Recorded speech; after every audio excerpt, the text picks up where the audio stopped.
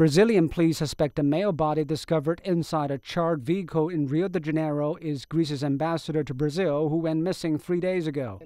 Kyriakos Amiridis has been on vacation in the city of Nova Iguacu outside Rio when his wife reported he had gone missing. Police reported that the license plates on the car matched those of Amiridis' rental vehicle.